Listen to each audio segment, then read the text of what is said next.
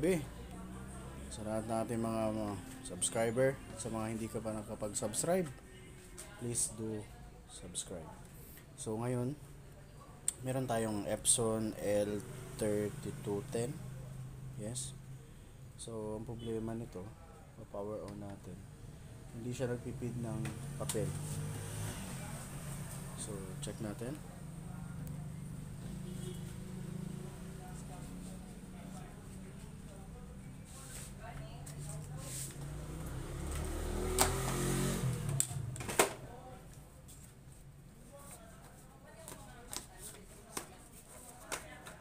Okay, so lagyan natin ng papel dyan. Tayo tayo ng photocopy. So, let's see.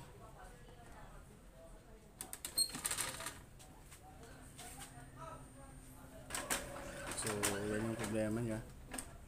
Nag-error siya. So, ito sa ano to, indicator ng papel. So, hindi siya nag-feed. So, ang gagawin natin, i-check natin kung ano ba yung nangyari sa loob, no?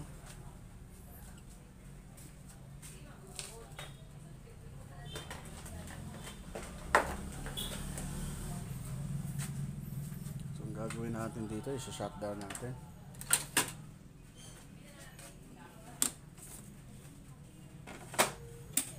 I-open natin siya. So, dito may dalawang screw.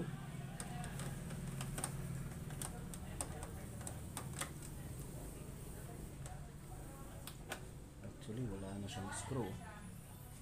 So, wala nang screw dito. Ito na lang ang isa.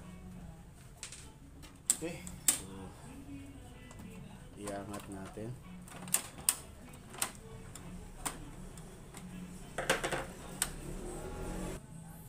Okay, so open natin. May lock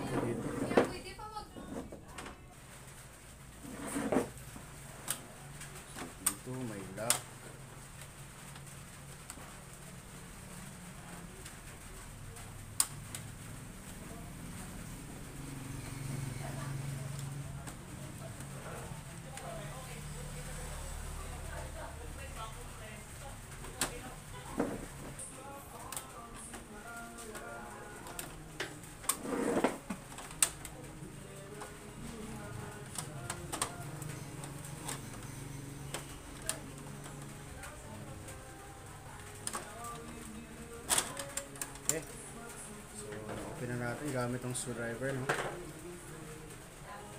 So, yun ang lock, no?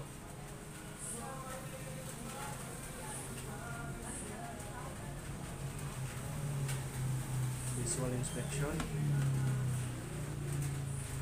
Hanap tayo ng flashlight.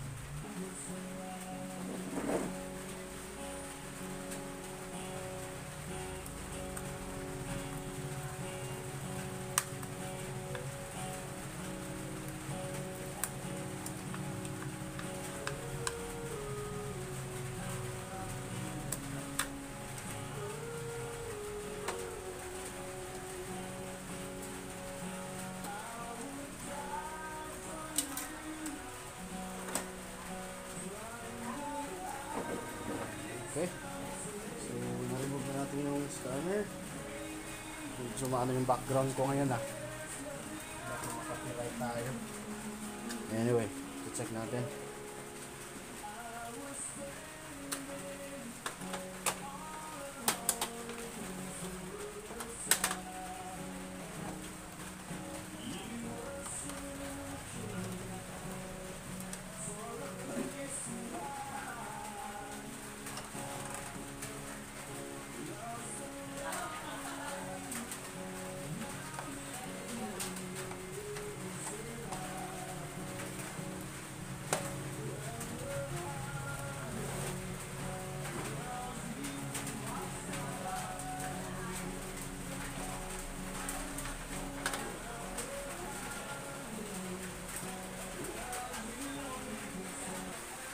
alisin natin yung cover.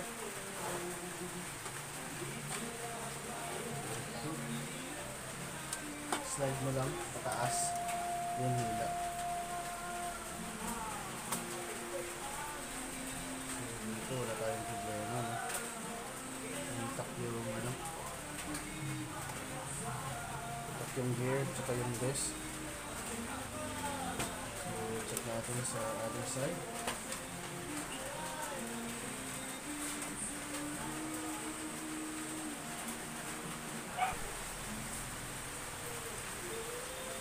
Upon checking dito guys, uh, itong folder disk niya, medyo maano na siya.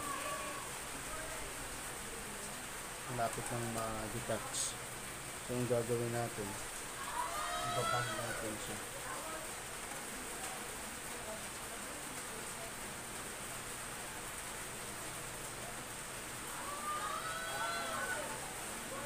Ayan, oh, 53 ano na siya. So, usually kasi pag ano mo to, iikot ang gear na to. So, ito wala na. So, ito yung post na nagsaslide na siya. Gagawin natin, ibaban natin siya. Tanggalin muna natin ito. Ayan. So, tanggal siya. So, ito yung ibaban natin. Hindi na siya masyadong nagsisigulsan.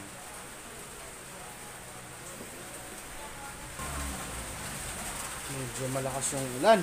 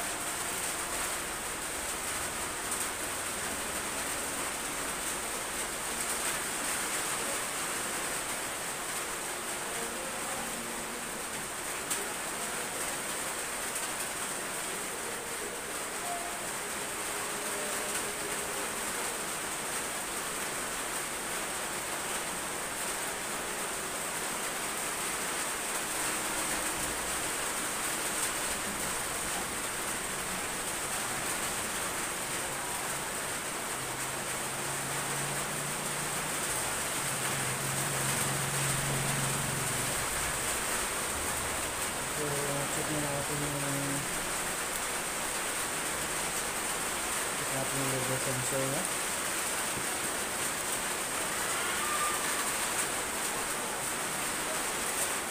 Ano sure tayo na. Malakas yung ulan.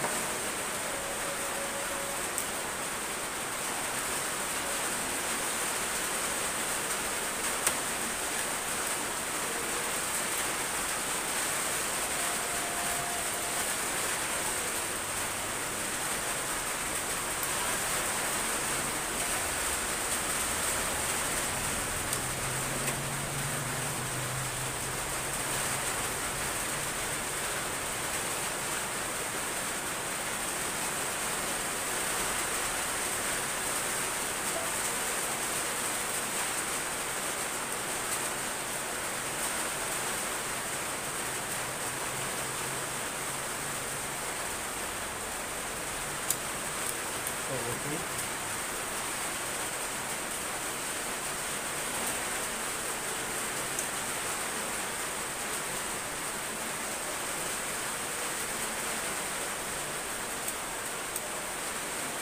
Lang screw.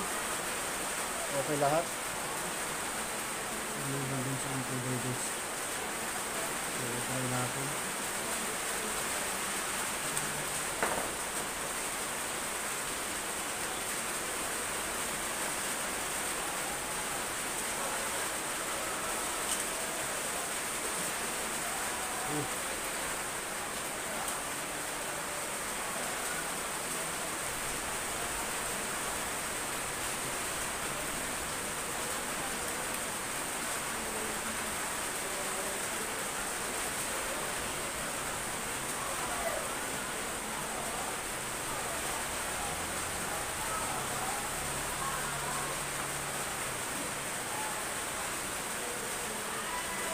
So, balik natin yung hindi makalat dito. Wala pa kasi tayo ano.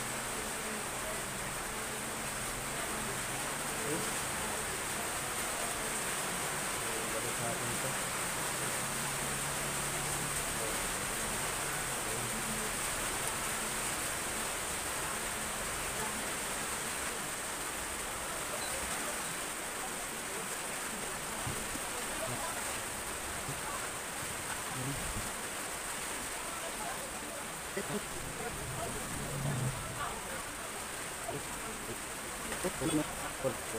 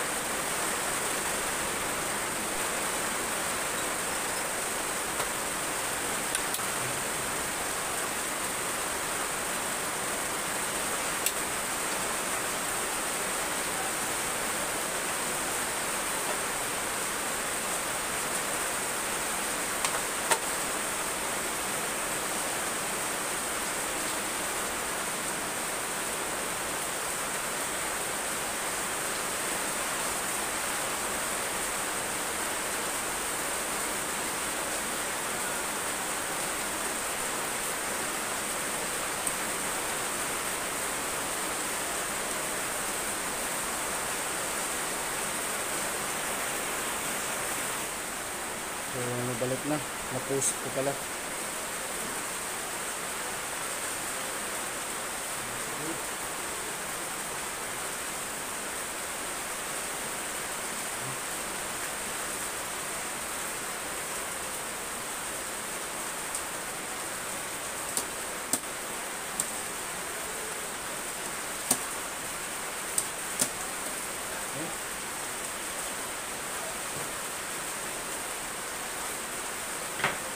Tingnan natin. Kung ito ba yung magpiprint.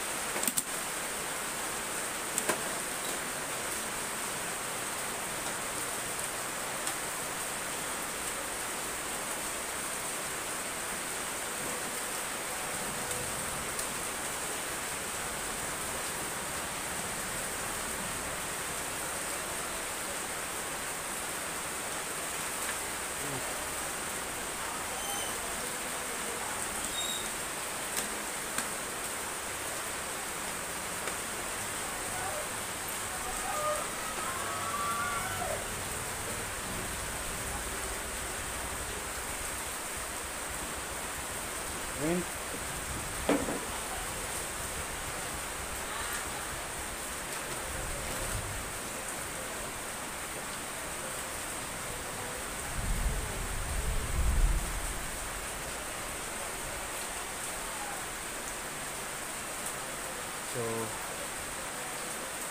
Siya, no? Tapos ang problema natin. So, ito yung problema niya. Ang hirap yung ibalik yung ano na to. Kailangan ng kanyang pasensya. Compare to L3110, madali lang. Ito medyo ano, medyo. So, ito yung source natin, no? So, try natin to. Oh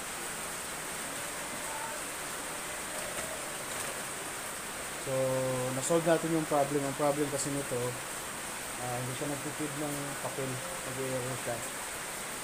As show you- yung nakaraan. So, encoder, yung encoder disk niya yung may problema. Na- Na-disalign siya. So, kailangan natin siya i-delete ulit doon sa ano niya.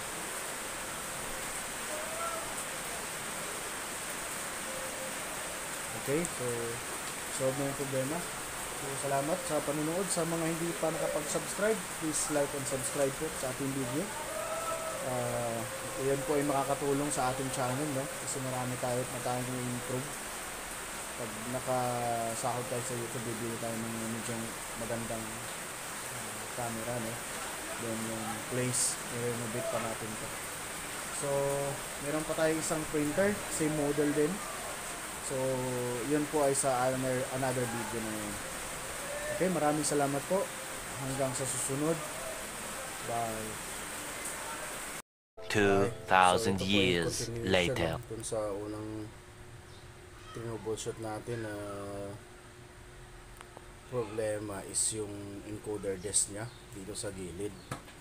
So, apen, ang problema kasi nito ng pagkahatid, ang sinabi lang is yung hindi siya makapag-feed ng papel. So, yun yung problema.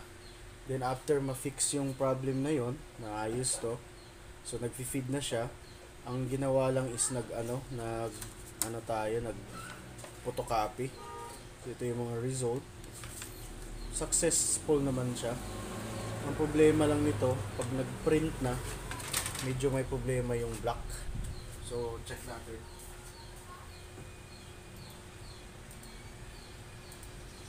Yan, nag-disprint na.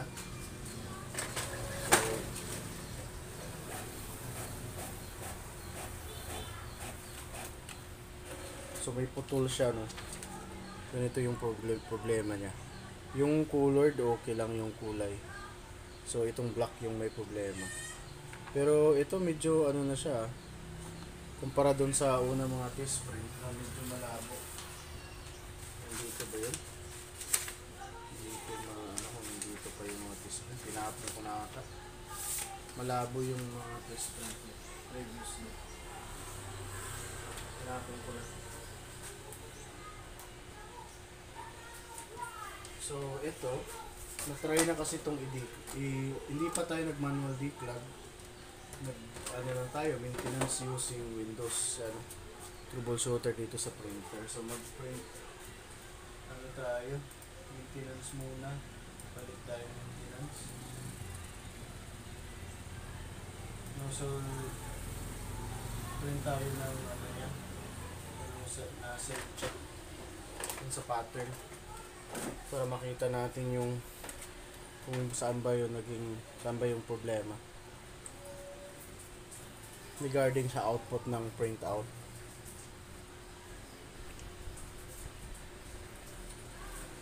So ito yung printout niya.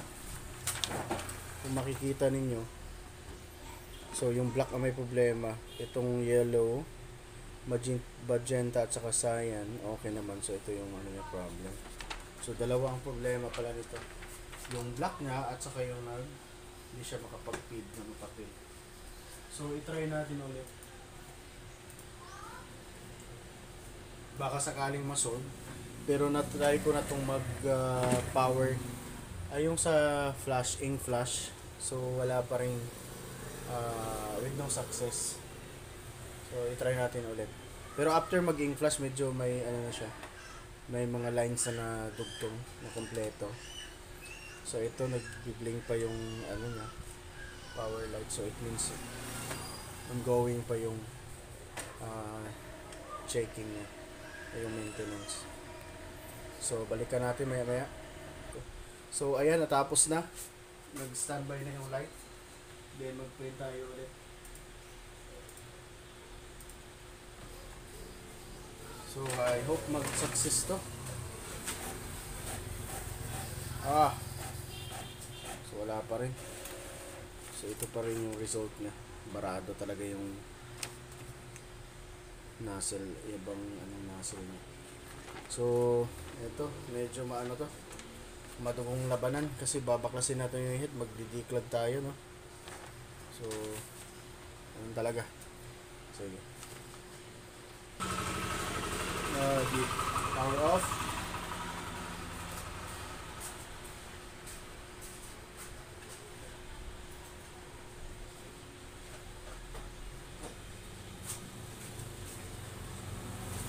So, remove natin yung mga cables.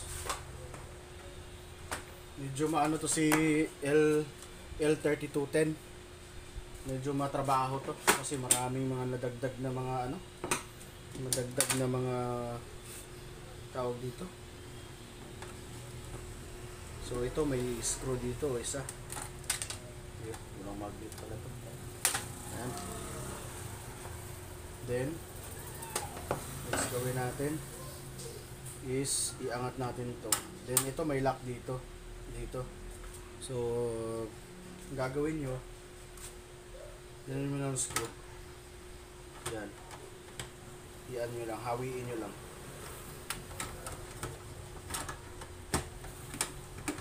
Yan.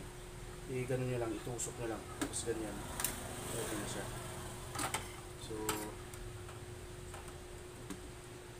hindi natin babaksin ganyan lang, no? Kasi itong target natin, itong head. Nakita ba?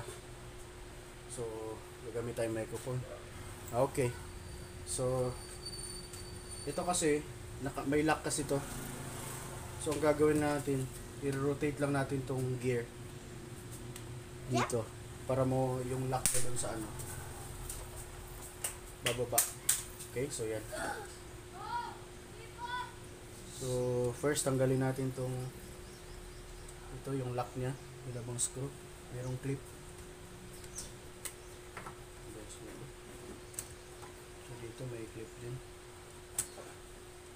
Tama ako.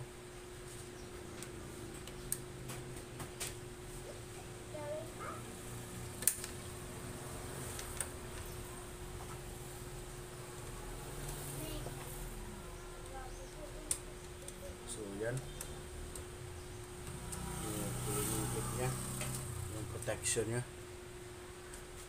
Then, check natin yung Anyway, mag-gloves tayo para hindi madumi yung ano natin kamay. So, bali itong sa model na to, first time kong mag-declug, no? So, itong model. Pero, I'm sure yung head nito is pareha lang dun sa ano, sa L3110.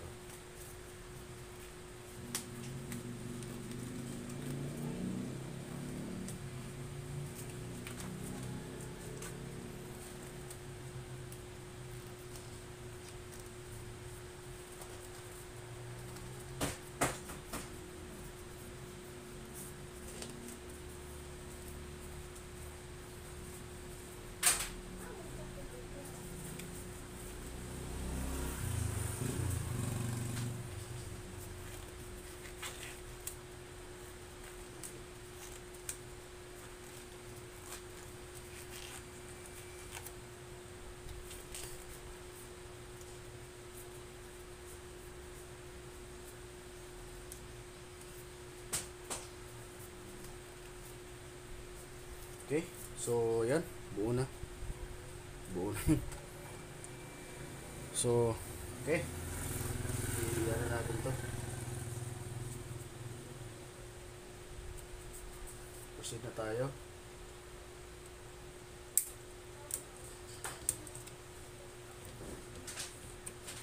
So, itong ibang kulay, walang problema. Except dito sa black.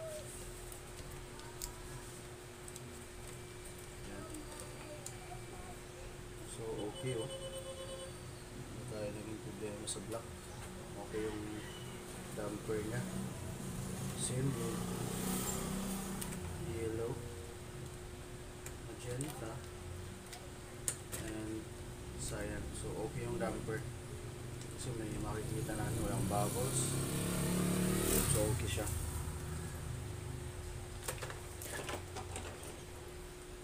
Of course this year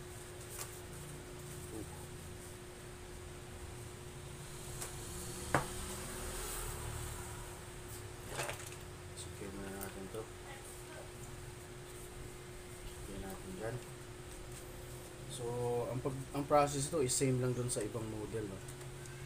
like L120 L 110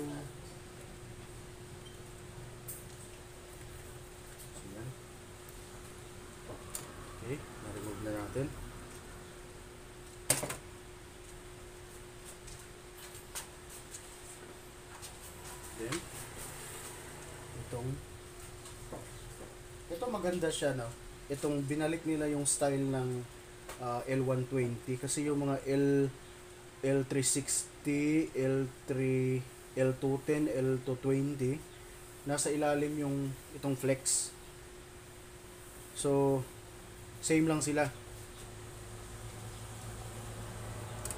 L3110 parang ganito din yata yung style niya. So of course may tatlong screw dito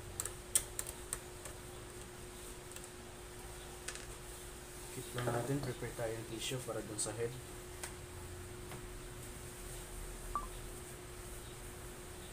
Ayan. Yung tissue.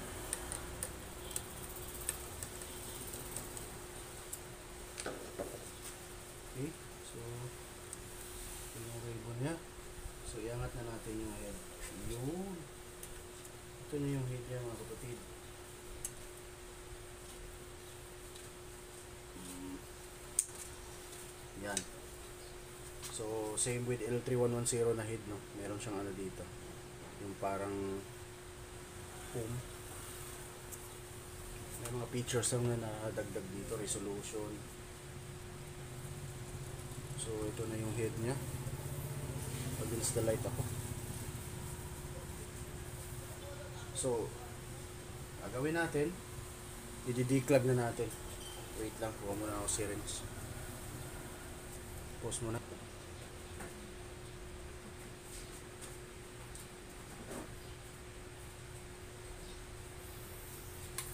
Pause pala.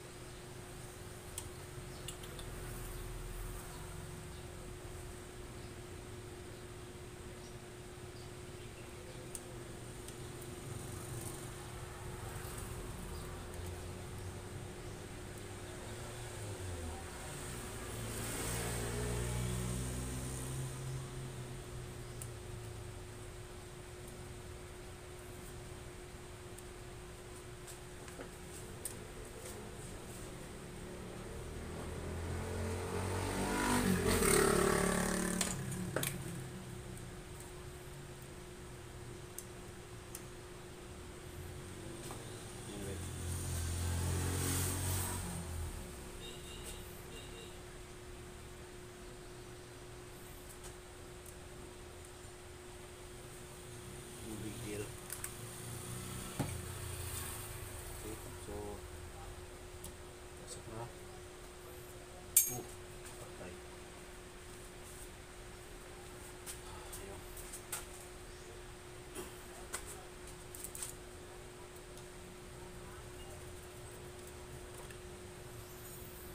Nakapost pala yung kanina.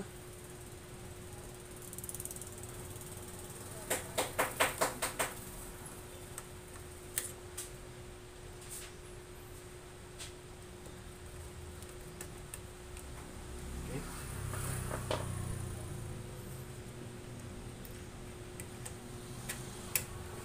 Ayan. So, balik na natin, oh.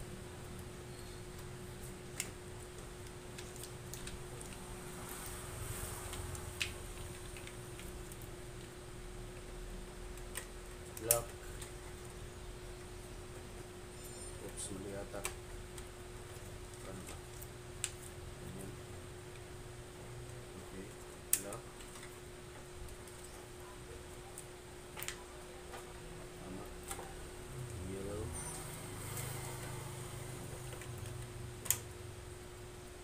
Magenta. Cyan.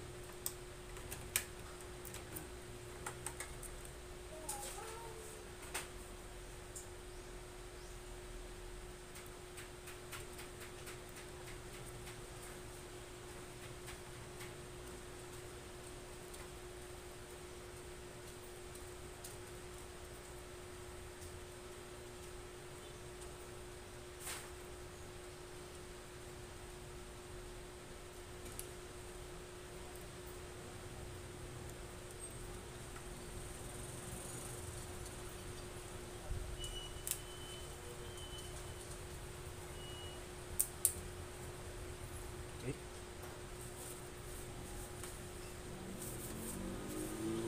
Na. Lock. Yan. Ito clip type lang to eh. Then, ano ba yun? Ayan.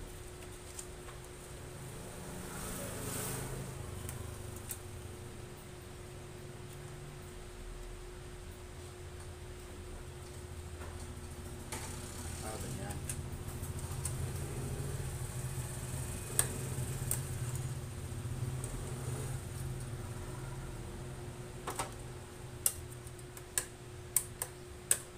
Yun. Okay na. Okay. So, tapos na tayo. Natin to. Sa gilid. Para iwas disgrasya. Ko siya.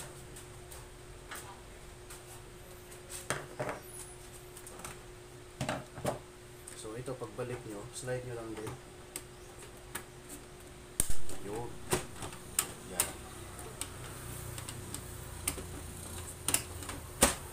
So, balik na natin. Next ko pa yun dito isa eh. Ito.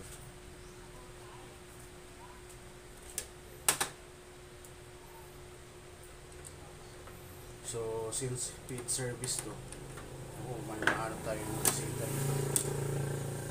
Kasi empty na empty yung ano dito eh. Black. Kasi nag tayo. So, usually kasi hindi umaga.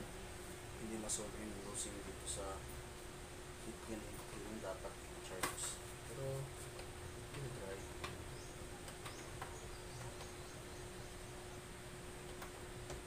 Okay. Papel. Tap, papel.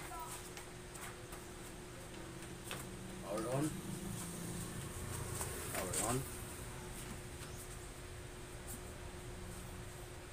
Medyo nakakabalang to, no? Kasi pag nag-short yung head, matik yan. Sira board mo, sira yung print head mo. So, I hope mag-standby yan para masiguro nating safe yung process. Okay, so standby lights. So, ibig sabihin, walang short. Successful yung pag-declog natin. Magpiprint out na tayo. Pero wag muna kasi walang laman yung ano, head niya. Tawagin natin dun sa properties ng printer. Mag-maintenance muna tayo. Head clean. In short. Clean tayo. It takes 2 minutes, around 2 minutes para mag okay.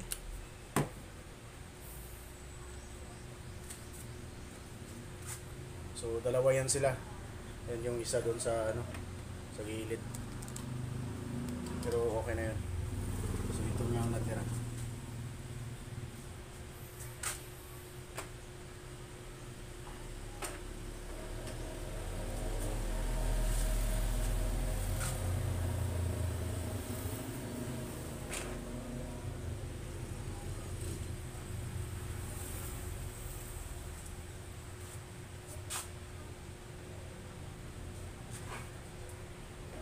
So natapos na yung maintenance. Mag-print tayo. Lakaw na. Wait lang. Print mo tayo. nawala yun, nawala tuloy. Kasi bago ano to eh. So, try natin kung pwede i-flash to. I-flash tayo. I-flash.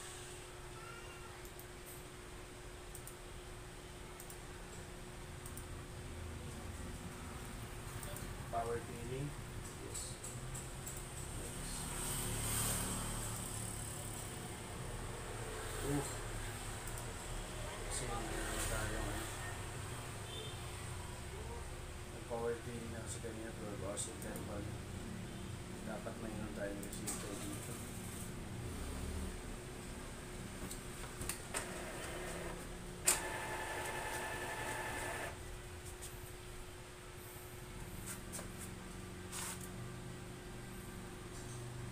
Okay, so nag ano na tayo, natapos na tayo mag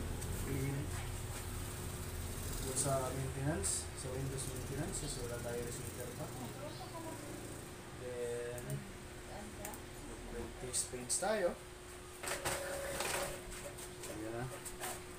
Ayan na! Okay! So, merong part na medyo ano siya, kasi may mga part talaga na barado. Pero pwede rin pag i-high nila. Check natin mag-print ng high.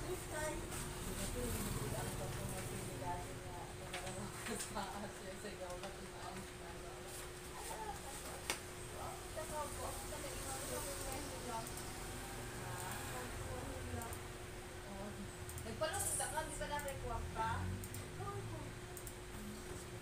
High settings yan. Ay, kasi mo, nakaroon. Wala, Friday.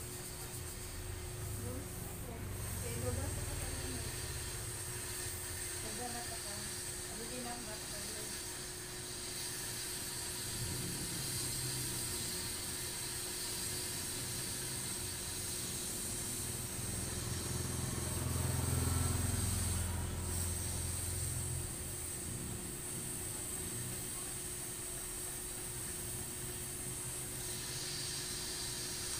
So may mga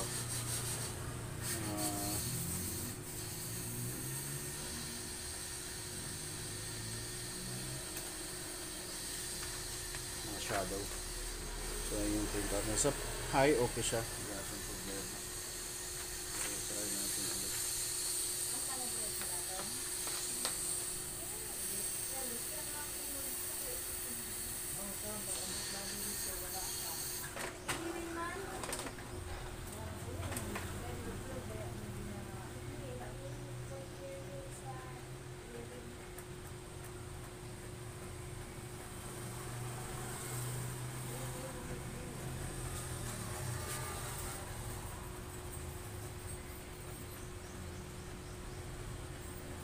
So shadow. Pero yung head talaga merong may isang tama. Siguro na-stuck ng matagal to or hindi natin alam kung ano history.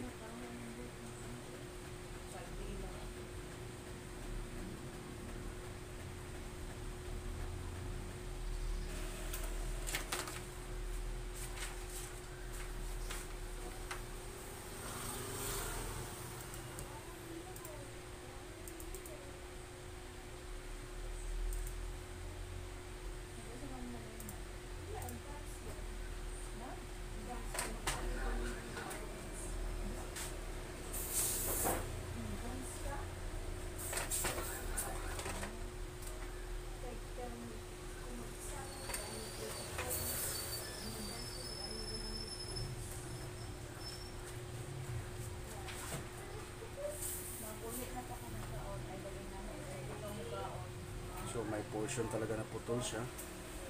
Pero na-reduce na natin yung ano. Ayan. Kailangan pa na Ito lang sa taas ang kulang. So kanina medyo mano yun.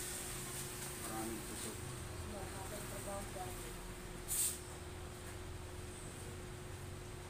So medyo ano siya konti.